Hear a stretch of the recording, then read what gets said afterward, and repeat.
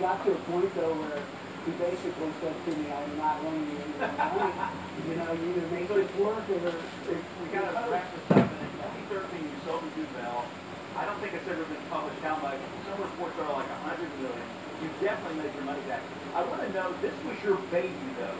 How do you give that up? What are you doing now? How has it changed since then? You know, I miss it sometimes, but, you know, I live up on the hill here.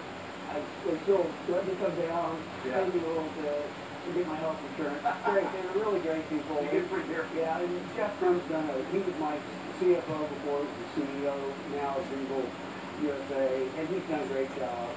And, you know, I still drive by it, and I'm proud of what I bet you we are. did. And the, the brand has gone global now. I mean, that would It not is. have been possible with your, I mean, you had a great team, but to, to see what Duvel has done is just amazing. Yeah. Thank you so much for being with us. Mark. I can do it now. We need to do a podcast.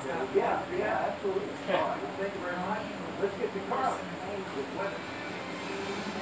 Well, Mark, we are weather aware for later today, and you'll notice we have thunderstorms already showing up on the radar just off to the north and northwest of Kansas City. Some storms that have bubbled up are producing some brief heavy downpours right along the Missouri Outside of northeast Kansas, heading into northwest Missouri. And you'll notice most of these are drifting off to the east and northeast, but we're going to watch them very closely. As far as rain chances are concerned for the metro and points south, that will continue to go up later today into tonight. Ahead of the front, we are warming up. We have 70s across the board. In fact, Melbourne's up to 80 now. We're at 73 in Olathe, 76 at KCI, and we're seeing partly cloudy skies. We're going to have partly cloudy skies and a better chance for thunderstorms later tonight, and that's why we're weather aware. For us here in town, extra clouds initially 92. It'll feel closer to 100, and then tonight our storm chances start to go up. Uh, Alex will have more on that You gotta put twenty on it, but it only costs like two or three bucks. Well, the wait is over. And was it working?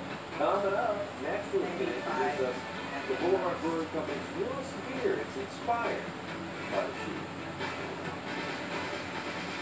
But first, what's brewing in the world of streaming?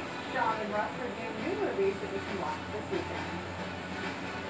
Yeah, I was gonna say, it makes no sense. Imagine how inconvenient your life would be without power. But with the Generac home standby generator, you will have power when you need it most.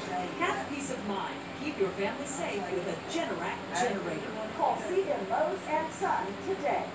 Nebraska Furniture Mart celebrates the American spirit during the 4th of July holiday event.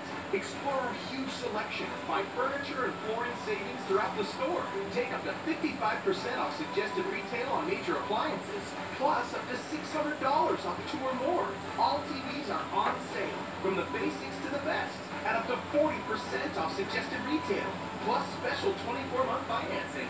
Celebrate the special holiday deals at Nebraska Furniture Mart. You're interested, Ashley?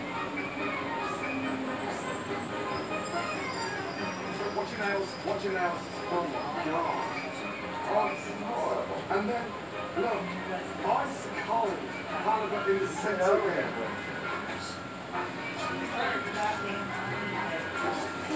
Y'all suffocated. It needs to Not catch. doing There's it not enough now, fire. to do that.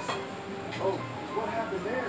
Josh, what happened? Josh just put the fire out. Oh, Elise does the bare minimum to skate by so that no one notices that she's not actually doing anything.